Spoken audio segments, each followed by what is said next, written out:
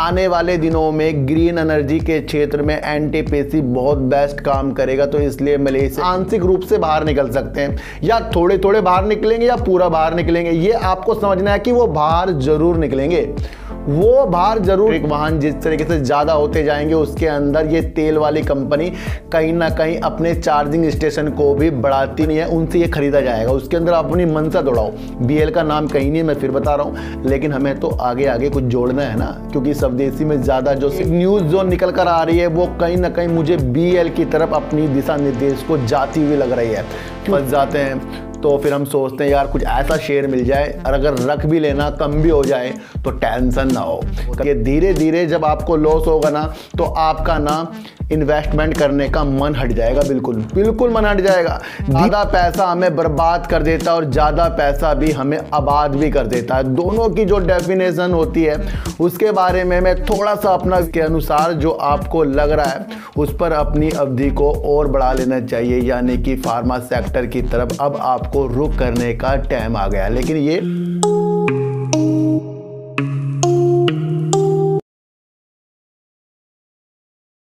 नमस्कार, मैं स्वागत करता हूँ आपका अपने ही चैनल पर, जिसका नाम है सार्थक बाज़ार से आज बात करेंगे। सर एनटीपीसी की बात करेंगे, यस बैंक की, और बात करेंगे बीईएल की, और बात करेंगे बीपीसीएल और वोडाफोन आइडिया की, सर।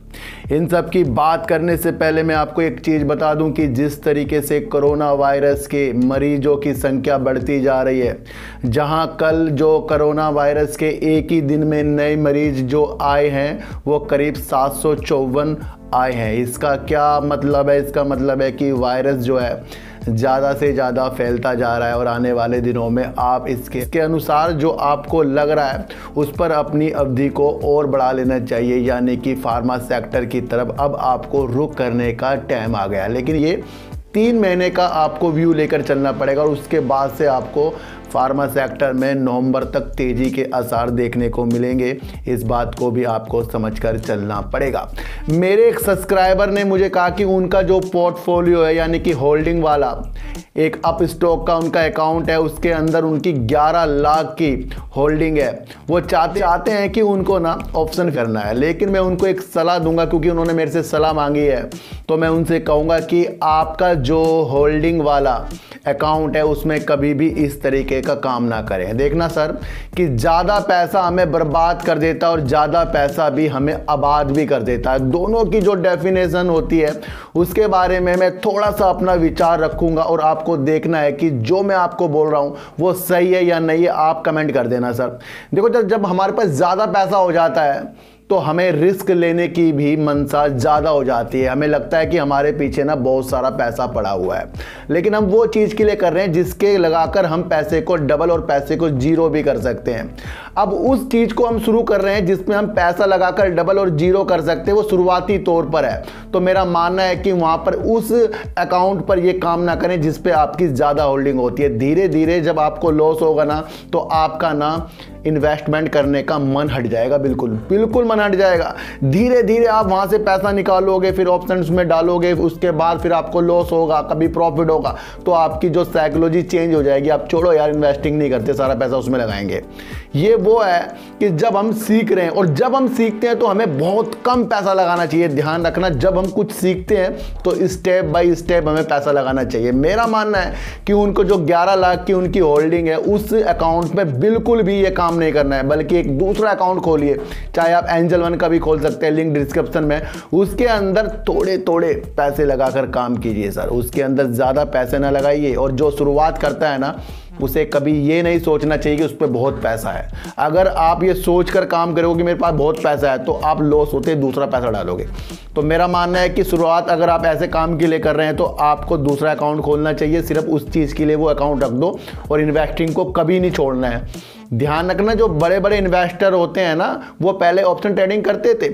उसमें से वो हटकर इन्वेस्टिंग में आए हैं। जब ऐसे बड़े बड़े लोगों को इन्वेस्टिंग अच्छी लगती है तो ध्यान रखना, उन्होंने अपने पैसे को बढ़ाया भी है उससे, फिर उनको पता भी है कि नहीं भाई, इसमें पैसा डूब भी सकता है, इसलिए वो इन्वेस्टिंग की तरफ़ आए हैं।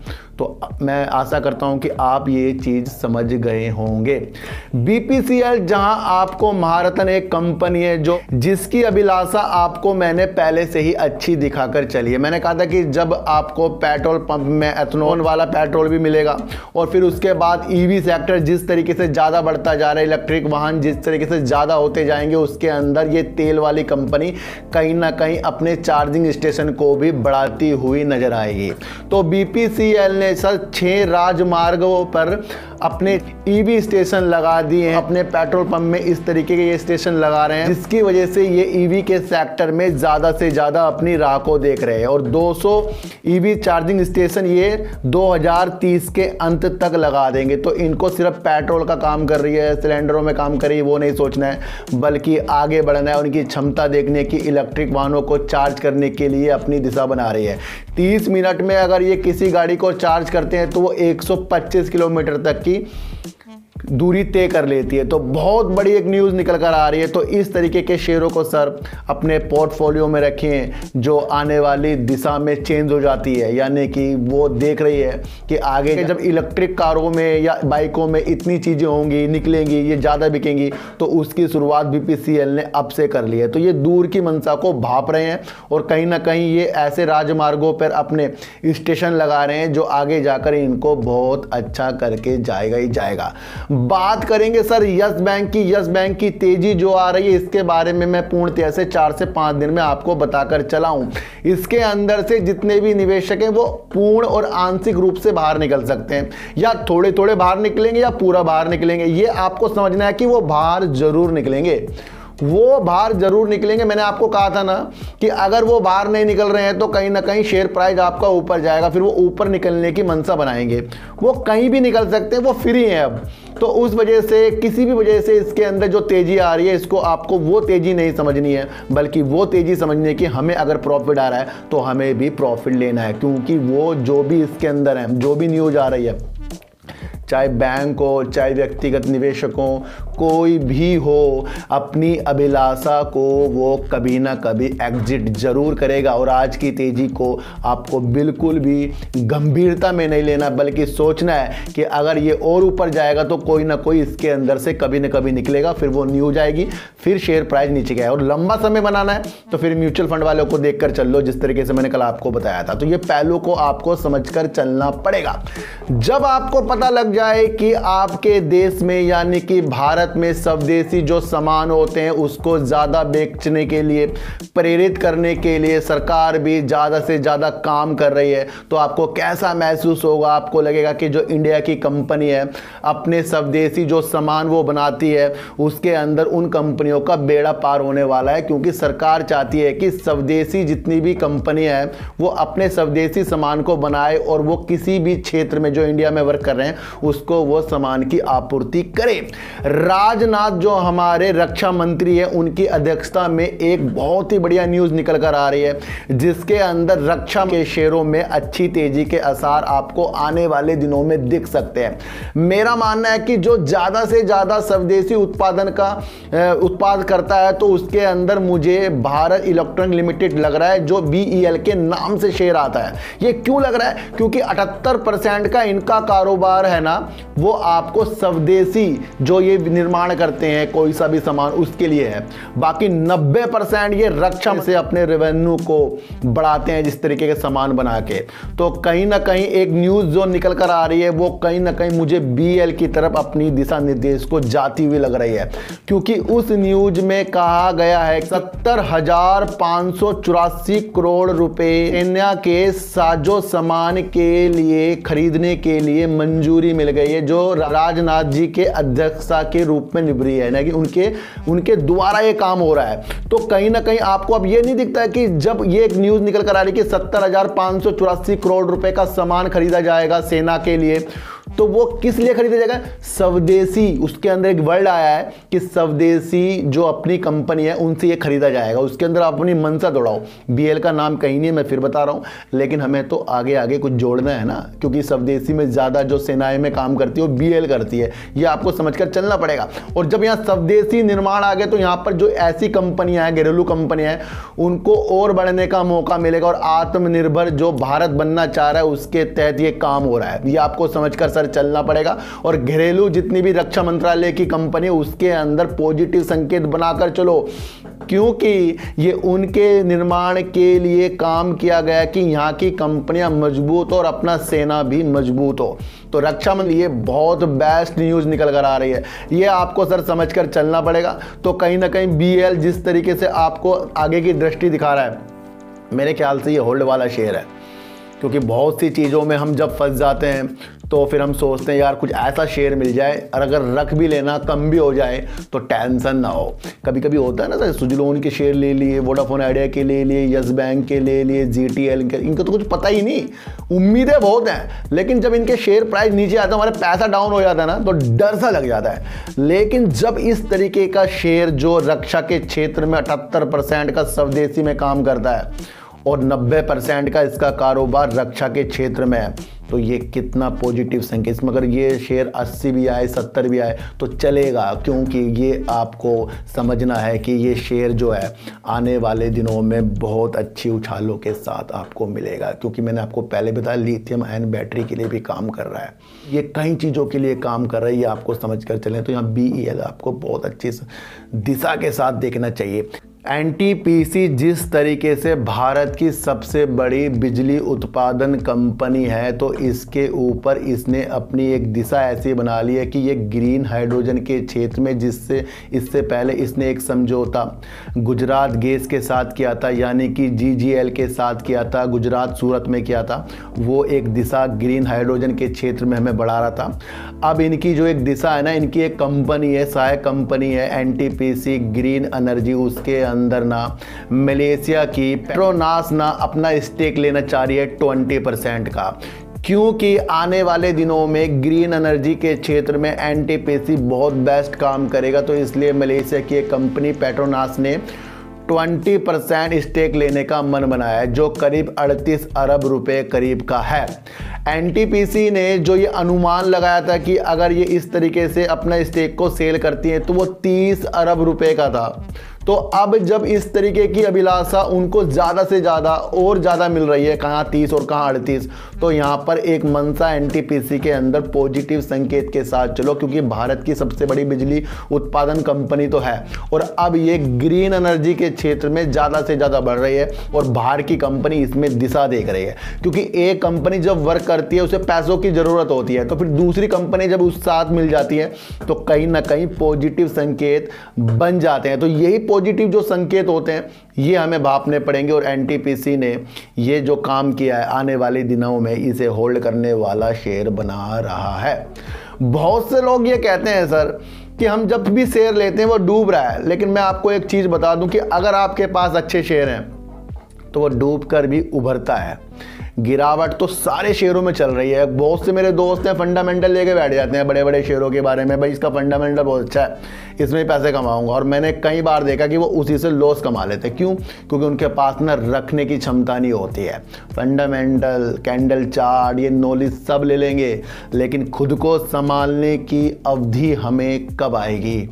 ये आपको समझ कर चलना पड़ेगा। जिसका सेल्फ कॉन्फिडेंस डाउन हो जाएगा ना जिसकी सोचने की क्षमता गिरावट में डाउन हो जाएगी ना, वो कभी भी ज़िंदगी हो या शेयर मार्केट हो, पैसा नहीं कमा सकता। बड़े बड़े कहीं पर भी चले जाओ, भाई लॉस होगा, लेकिन अगर आपने अपने प्रॉफिट की क्षमता को बनाकर रखा है, उसके अंदर आपको लालच ज़्यादा नहीं आ रहा है कि आप थोड़ा ही प्रॉफिट लेकर निकल रहे हो तो वहाँ पर भी आप एक बच रहे हो। लेकिन अब आपकी मनसा बहुत ज़्यादा कमाने की है तो वो इस मार्केट से हो तो जाएगा, लेकिन उसके लिए ना स्टेप बाय स्टेप अपने दिमागों को आगे बढ़ाना पड़ता है। बात करेंगे वोडाफोन आइडिया की। क्या वोडाफोन आइडिया की अब ट्रेन चलने स्टार्ट हो रही है? क्यों हो रही है? क्योंकि दो न्यूज़ निकल कर वोडाफोन आइडिया में बढ़िया निकल कर आ रही है। एक तो केयर रेटिंग एजेंसी ने इनकी रेटिंग को स्टेबल से पॉजिटिव कर दिया है बी प्लस कर दिया है। वो क्यों किया है? उनको पता है कि वित्तीय जोखिम में तो वोडाफोन आइडिया है। और कहीं ना कहीं बैंक से लोन फंड लेना या 5G को लॉन्च करना, ये सारे के सारे चीज़ें होंगी, लेकिन इसके ऊपर कर्ज है, फिर भी उन्होंने वित्तीय जोखिम को देखकर ये रेटिंग बनाई है। तो आपको एक चीज़ समझ लेनी चाहिए कि अगर वोडाफोन आइडिया 5G लॉन्च करता है तो अपनी स्थिति को बेहतर करेगा। फंड लाएगा तो भी अपनी स्थिति को बेहतर करेगा। तो ये सारी चीज़ों को भापकर रेटिंग ने इनकी रेटिंग को अपग्रेड किया है। तो एक न्यूज़ तो सर ये होगी। दूसरी न्यूज़ जो आ रही है, सबसे पॉजिटिव आ रही है, लेकिन इस न्यूज़ ने इसके ऊपर इफ़ेक्ट क्यों नहीं डाला, ये मुझे पता नहीं। या तो तब डालेगी जब ये काम पूरा हो जाएगा। तो बात कुछ इस तरीके की है कि वोडाफोन आइडिया के प्रमोटर दो हज़ार करोड़ रुपए डालना चाह रहे हैं। ये तब न्यूज़ निकल कर आई है जब सरकार ने वोडाफोन आइडिया के अंदर अपना स्टेक लिया है। तो उसके कुछ हफ्तों के बाद ये न्यूज़ निकल कर आई जो एक पॉजिटिव संकेत डाल रही है। इसके बाद भी प्रमोटर आगे भी इस तरीके का फंड डाल सकते हैं। ये पहला फंड डालने की प्रक्रिया में लग रहे हैं जो 2000 करोड़ की है। अगर ये सारी चीज़ें हो जाती हैं तो फिर वोडाफोन आइडिया की गाड़ी चलने की दिशा में बन रही है। पॉजिटिव संकेत हैं सर दोनों, लेकिन लेकिन हमें उतावलापन नहीं होना है। जब तक कि ये शेयर आपको दस रुपये से ऊपर जाता हुआ नहीं दिखेगा, तब तक के इसके अंदर कुछ भी अच्छी मनसा में नहीं बनानी है, बल्कि होल्ड वाली मनसा बनानी है। क्यों बनानी है? क्योंकि सरकार ने ही इसके अंदर दस रुपये करीब का अपना स्टेक लिया है। तो वहाँ तक जब ये जाएगा, तभी तो सरकार को भी कुछ इसमें फ़ायदा होगा। जब ये उससे नीचे अभी सरकार ही इसके अंदर घाटे में तो कहीं ना कहीं आपको एक बात समझ लेनी चाहिए कि जब सरकार ने दस रुपये में लिया तो सरकारी अभी घाटे में तो फिर हमारा क्या होगा? तो हमें भी अब क्या करना है? सरकार की तरह चुप बैठना है, क्योंकि ये फ़ंड के लिए तैयारी कर रहा है। और फंड अगर इसके अंदर पूरी चीज़ें आ जाएँ, फिर इसके अंदर तेज़ी के संकेत आपको दिखेंगे। ये तब हो रहा है, ये इन सारे पैसों को सर 5G गियर खरीदने के लिए लगाएगा, क्योंकि इन्होंने कहीं ना कहीं 5G में काम करने की अभिलाषा को जताया है, दिखाया है और समझाया है, क्योंकि 5G सिम भी इनके वोडाफोन आइडिया के अपग्रेड के तहत आ रहे हैं। तो ये जितना भी पैसा अगर ये प्रमोटर करते हैं तो कहीं ना कहीं ये 2000 करोड़ करेंगे तो ये सारा का सारा 5G गियर के लिए है। और जब ये 5G लॉन्च कर देंगे तो कहीं ना कहीं फिर तो तेज़ी आएगी ना, फिर तो इसे कोई ना कोई पैसा देगा। और जब इसे पैसा बैंक दे देंगे फंड आ जाएँगे तो कहीं ना कहीं बहुत पॉजिटिव संकेत हो जाएगी। लेकिन सरकार ने कहा था कि वोडाफोन आइडिया को पैसा डालना होगा।